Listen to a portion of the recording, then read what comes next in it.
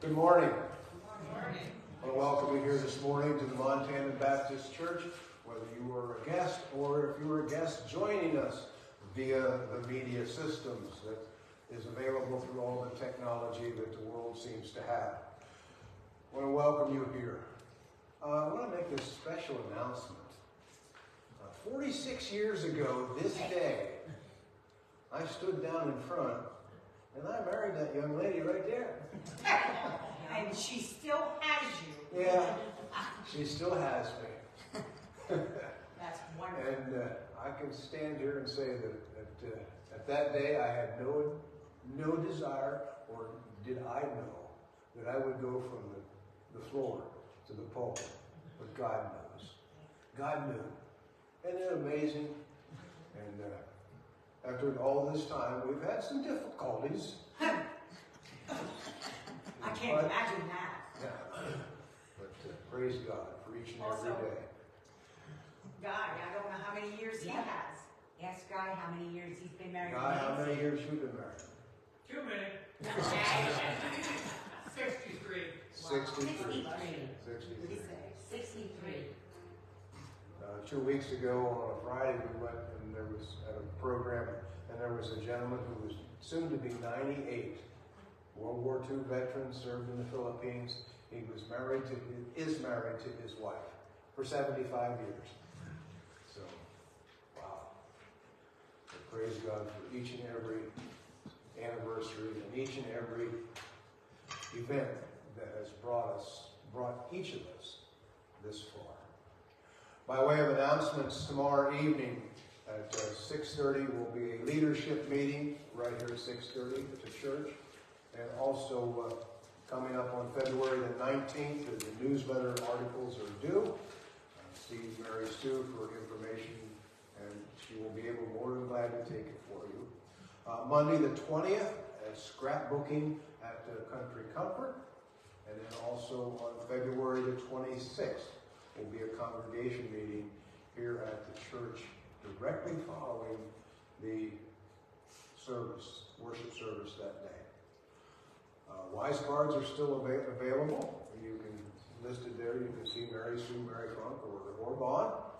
And also uh, listed there for the month of February, our birthdays at Country Comfort. Uh, we were given this information here from the, the Methodist Church next door. Uh, on Ash Wednesday, the 22nd, there will be a time of stop and go, soup and ashes. Uh, this will be posted out on the bulletin board from noon until 2 p.m. on the 22nd. Also then coming up, a time of quiet time and communion on Maundy Thursday. Isn't it amazing? We're getting closer and closer to resurrection morning. Praise God.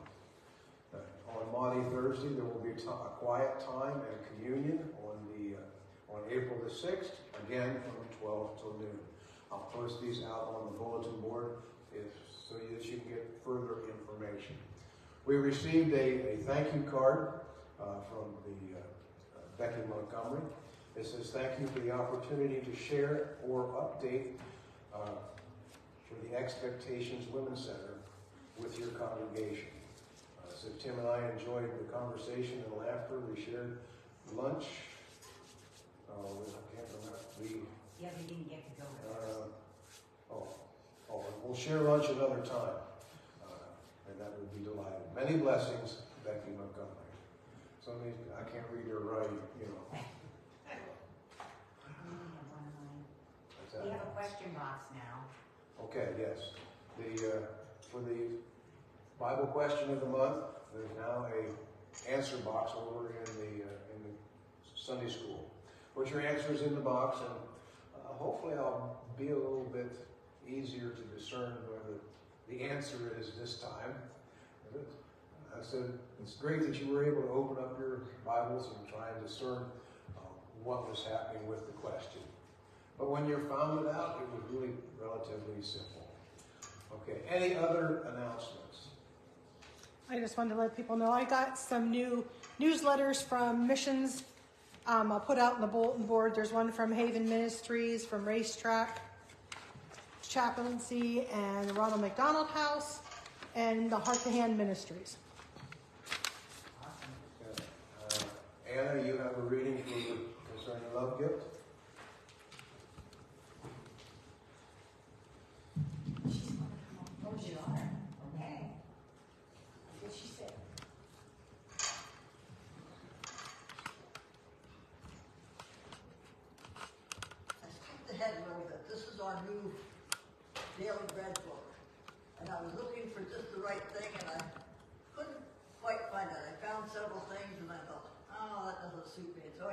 And reading and finally I looked in the back of this book and I came up with this one.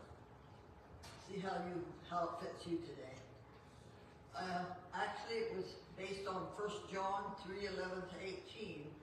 And the verse that they chose for it was, Dear children, let us not love with words or speech, but with actions and in truth. While waiting for a train at a station in Atlanta, Georgia, a young man wearing dress pants and a button-down shirt sat on a bench. As he struggled with his tie, an older woman encouraged her husband to help. When the elderly man hunched over and began teaching the young man how to knot the tie, a stranger took a photo of the trio. And can't you just see Jamie there with her camera taking a picture? Of course. When the photo went viral, many viewers left comments about the power of random acts of kindness. For believers in Jesus, kindness to others offered to others affects the self-sacrificing care that he showed for people like us. It's an expression of God's love and what he desired his disciples to live out. We should love one another. And this is what our love gift box is about. Putting a little money in there to help and show our love for others. John equates hating a brother or sister to murder. Then he turns to Christ as an example of love in action. Selfless love doesn't have to be extravagant display of sacrifice. It simply requires us to acknowledge the value of God's image bearers by placing their needs above our own every day. Those seemingly ord- ordinary moments when we care enough to notice the needs of others and do what we can to help are selfless. When we're mo- motivated by love. When we see beyond our personal space, step out of our comfort zone to serve others and give, especially when we don't have to give, and we're loving like Jesus. And that's what I think of as I put money in my love gift box. I don't need to give, but I want to give because I'm thankful. I have a home to live in, have food to eat. Many people don't have that. And so far, thank God, we haven't had earthquakes in our area. Oh, yes. We don't know, it could happen. But we have so much to be thankful for. And the few dollars that we put in our love gift boxes certainly help show our love to others. Thank you. Thank you, Anna. Let's take a few moments and go to the Lord in prayer.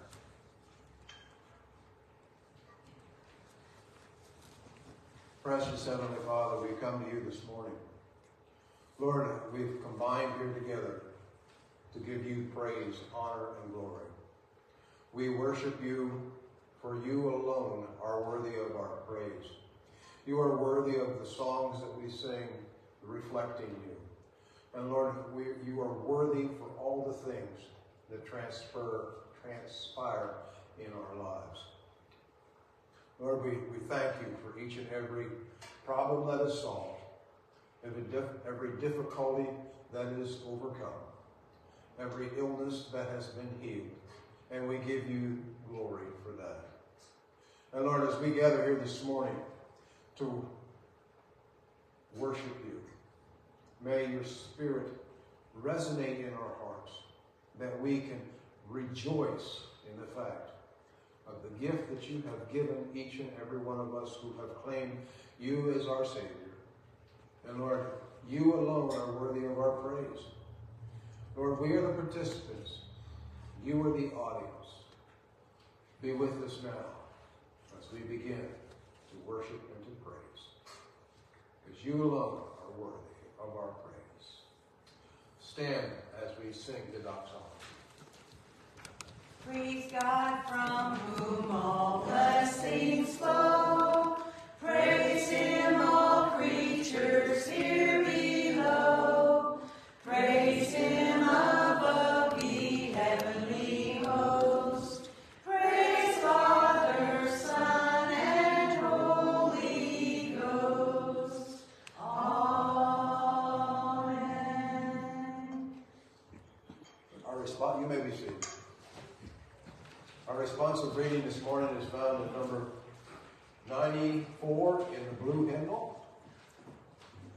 I Love You, O Lord. O God, you are my God. Earnestly I seek you. I have seen you in the sanctuary and beheld your power and your glory. Because your love is better than life, my lips will glorify you. I will praise you as long as I live, and in your name I lift up my hands. On my bed I remember you. I think of you through the watches of the night. Because you are my help, I sing in the shadows of your wings. I love you, O Lord, my strength. The Lord is my rock, my fortress, and my deliverer. I love you, O Lord, my strength. My God is my rock, in whom I take refuge. I love you, O Lord, my strength. He is my shield and my horn of salvation, my stronghold. I love you, O Lord, my strength. One thing God has spoken, two things I have have I heard. That you, O God, are strong, and that you, O God, are loving. O God, you are my God. Earnestly I seek you. I have seen you in the sanctuary and beheld your power and your glory. The Lord lives. Praise be to the rock. Exalted be God our Savior. Amen. Our opening hymn this morning is number 43 in the blue hymnal, All Power, All Hail the Power of Jesus' name. And I'm asking Wendy to come up here. She's gonna help me out here to keep me on tune.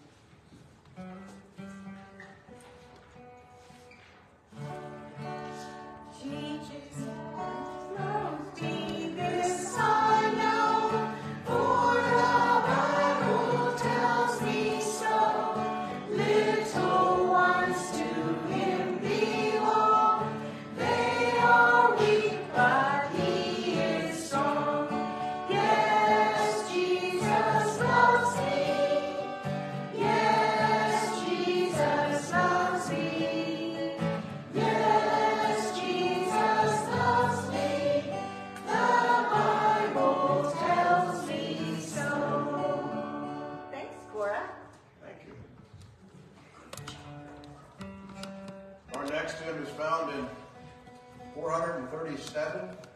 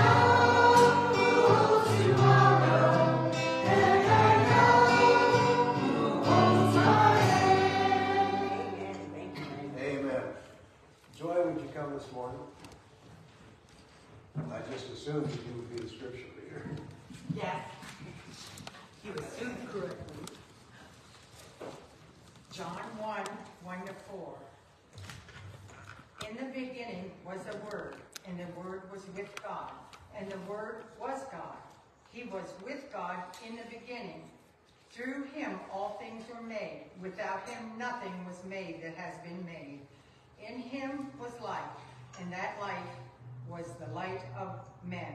May the Lord add his blessing. Thank you. You may be seated. Who has the has authority? That's the title of this morning's message. Who has the authority? Who has the authority in your life? Who has the authority in your family? Who has the authority in your church? Who has the authority in our government? Or in government, per se? I just read a, a brief book called the Roadmap, Roadmap to Renewal. It's uh, based on you know what we here in this nation need to return to. And that is indeed what God has intended for each and every one of us and each and every one of us as a nation. There's three areas that I cataloged out of this book that where God should have total control.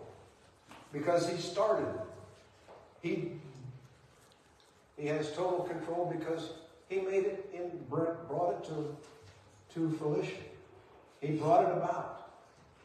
And like every map, and most of you know that you know I enjoy maps.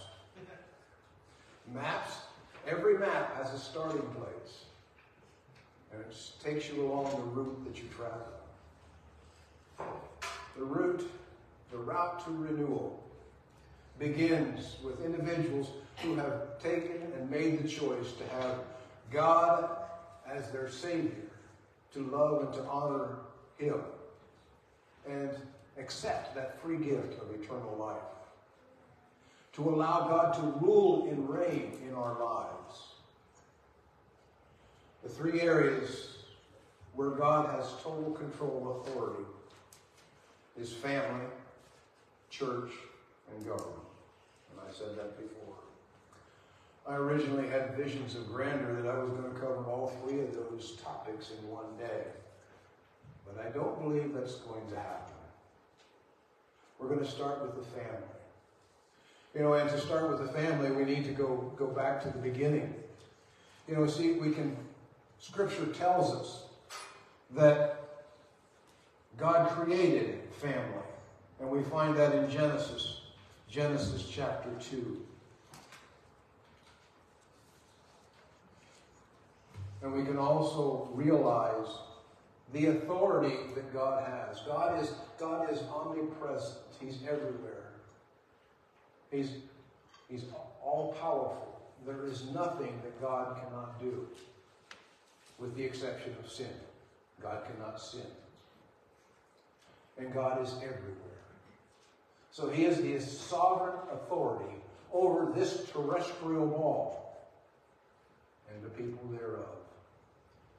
He made each and every one of us as images of God, created in the image of God.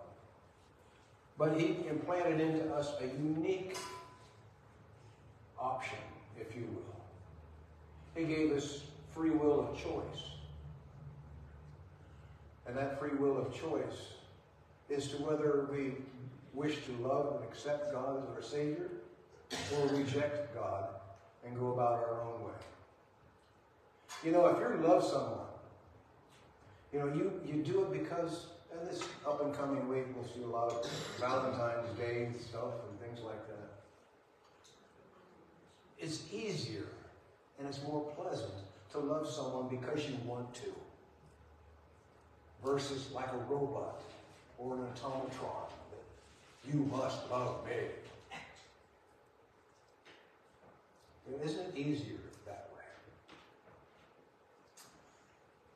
It's not easier to, to love someone because you're told to, but because you want to. And that's the way God designed us. And to do that, we go back to the beginning.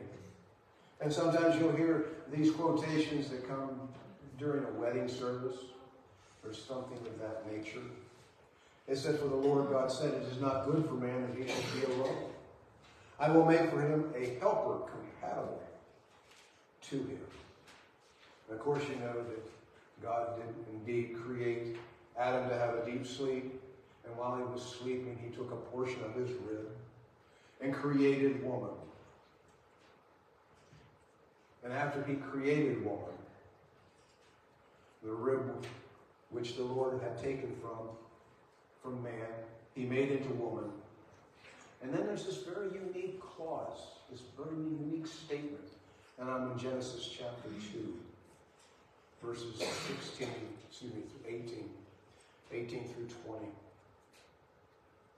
It said, after God made the woman, he brought her to the man.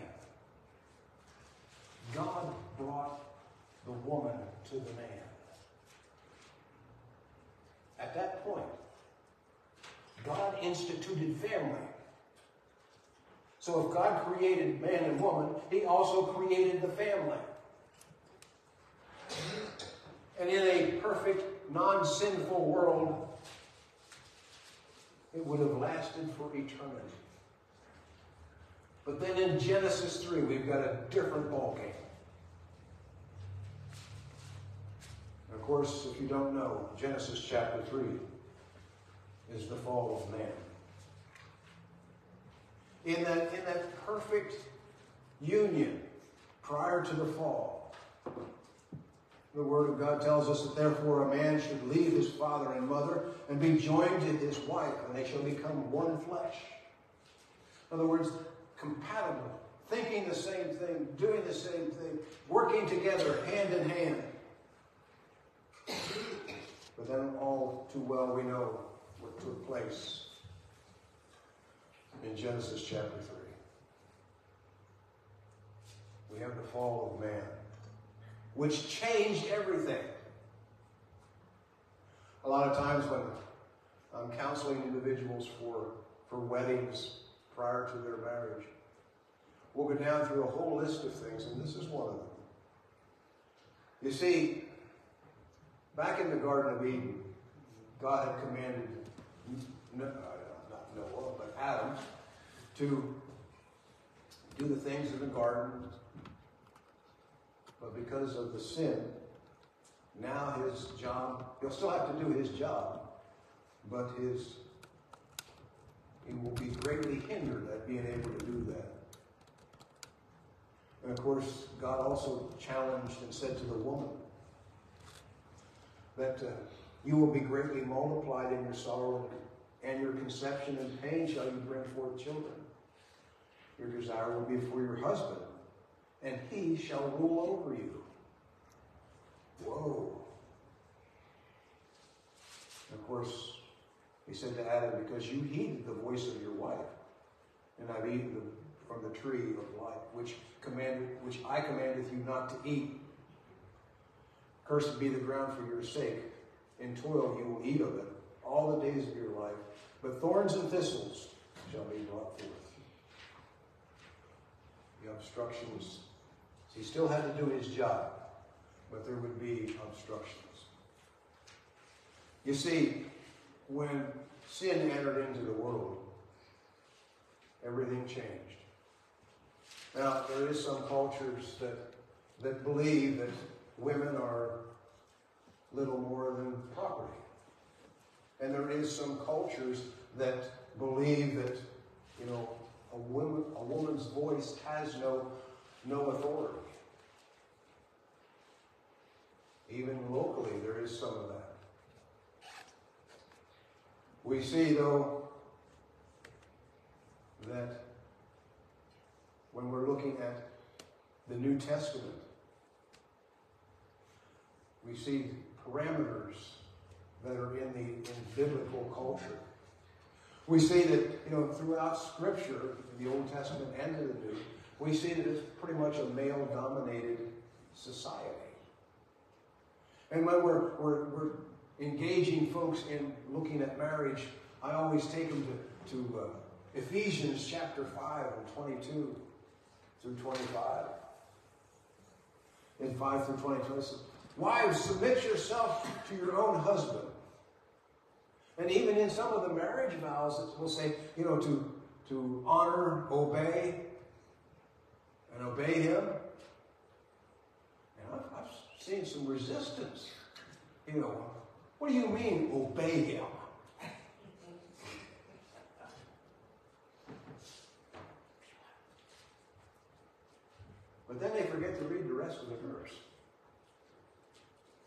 Wives, submit yourself to your own husband as to the Lord. For the husband is the head of the wife, and here's the one, the catchphrase. As also Christ is the head of the church and the Savior of the body. And when you explain that to this prospective couple, yes, Scripture does say that the man is supposed to be ruled over the woman. But only if he's willing to die for you. As Christ died for each and every one of us. As Christ died for the church. Christ is our Savior of the body. Amen. Isn't it more acceptable to know that that one that you're married to was willing to stand and take the truck that's coming down the road and push you out of the way? Willing to die in your place. Isn't it nice to know that we can honor someone like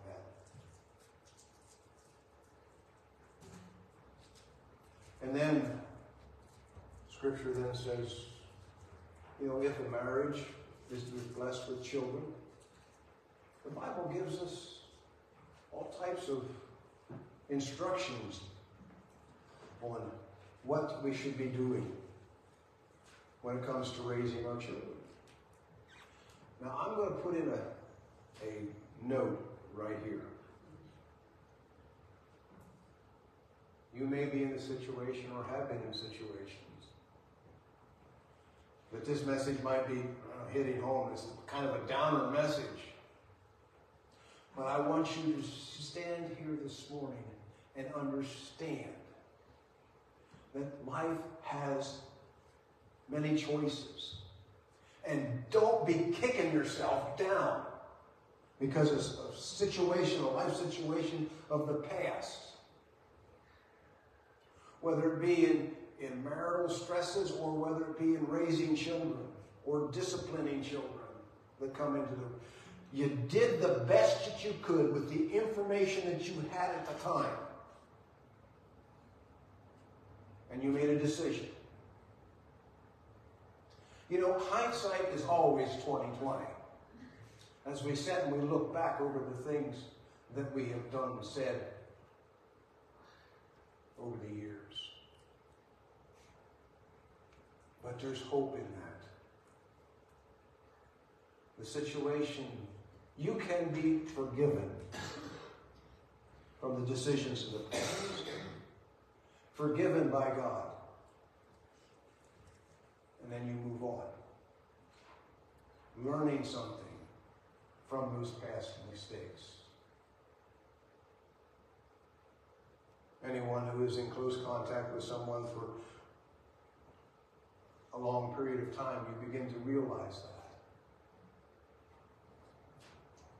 But when it comes to raising children, if you're blessed with children, there comes a time when we can look to Scripture. We can look to Proverbs where it says, train up a child in the ways that he should go. And when he is old, he will not depart from it. We don't need a textbook on raising children. We just need to read Exodus 20.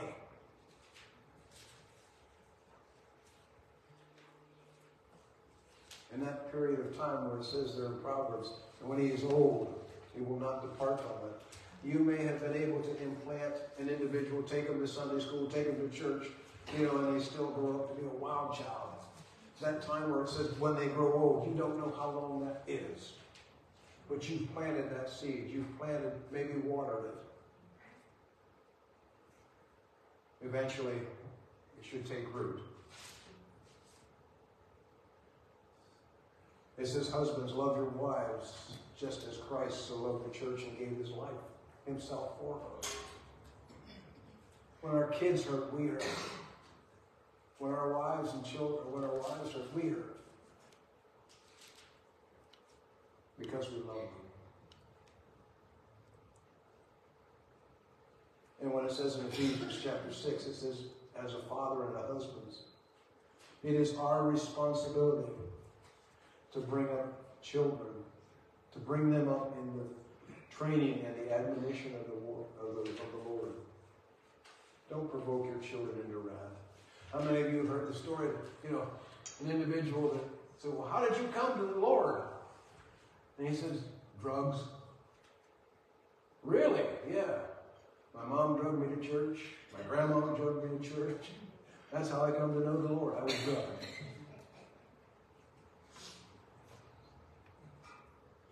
So God has given authority. He developed and made the family. Do we need godly influence in our families today? Yes. That's a question you can answer. I see some heads shaking. Would a godly influence in a family make a difference in the children today? Yes. And if you don't believe that, just ask anybody who is in close proximity of children on a daily basis. In the last 40 or 50 years, has children's attitudes changed? Yes. Yeah. Has the adult parents of those children changed? Yes. What took place? God has been eradicated from their lives. Every aspect and avenue. We can't have a nativity scene. We can't do scripture. I can remember as a kid and that uh, we used to read Bibles before the class started. Now that gives you how antique I may be. Not as, as antique as some, but I can remember that. One of the few things I remember from those years. So God instituted into the family. And if God is, is an important part, if God rules and reigns in the hearts of the individuals in the family, that will then become in the children. And you see, it's repetitious. It moves on from generation to generations. I originally had thought that I would be through this the whole way. But I guess we're going to have to stop. Because the next, the next thing that we need to look at is the church. We need to see the influence that God has on the church. Because God created the church. He is the author of the church. He is the, the, the founder of the church. And oh, how we need to hear that which comes from God's Word. But I don't want you to think that this message is a downer this morning for about family. You know, we've each grown up in families that are sometimes dysfunctional. Sometimes it's, it's difficult. Maybe you were fortunate enough to have uh, parents that took you to church, Sunday school and church. You become a member of that same church, and you brought your, your children, you married in that church, and brought. I have to admit, the only reason I started coming here over 47 years ago was to see her. But God knew what was going to transpire. The situations and problems that we face as a nation, if we can start at the beginning point, like I said, any roadmap has a starting place. The roadmap starts in the home. It starts in the home with being and allowing God to rule and reign in our hearts. I'm not saying that you're going to do everything perfect. You know, God rules and reigns in our hearts, but He has chosen imperfect vessels. Each and every one of us are imperfect. Or excuse me, not perfect. So what we need is to allow God to have total authority in our families. And next week we'll be looking at how God has total has total authority over his church. And maybe if there's enough time, I'll squeeze in government. I thank you for your attention this morning. It's been awful quiet in here. Not a whole lot of amens and things of that nature. This is a touchy subject, but it's one that needs to be addressed.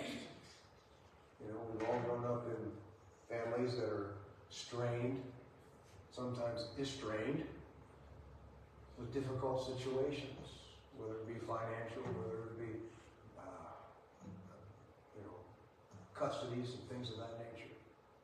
Whether it be a whole host of, of uh, problems in the home that relate from substance abuse and also other abuses. But I want to give you hope this morning. Regardless of all of those things that have taken place in the past, they're behind you. And don't worry about them today. If you ask God to forgive you for those items and those sins, it's gone. And don't let the devil whip it up on you thinking that you're still guilty of something. That's right. Today is the yesterday that you worried about tomorrow. Did I get it right? I don't know. Today is the tomorrow. Today is the tomorrow you worried about yesterday. I keep getting it wrong. and when we we look at it from that aspect, did our worry help us in any way? Because if we know the Lord is with us, He walks with us, He rules and reigns in our lives and our hearts, we've got a lot to look forward to. We can stand and proclaim, He lives, and He rules and reigns. Join us now, stand as we sing our, our closing hymn. Number 372 in the blue hymn, Our God Reigns.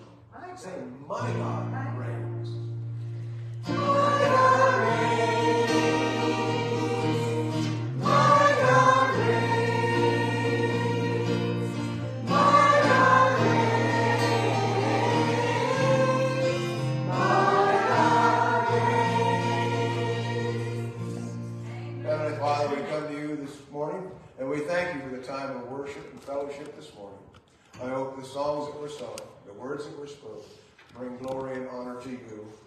And you were pleased with each and every heart that is here as we reflect the love that you showed us on Calvary's cross by paying Christ the ultimate sacrifice for sin.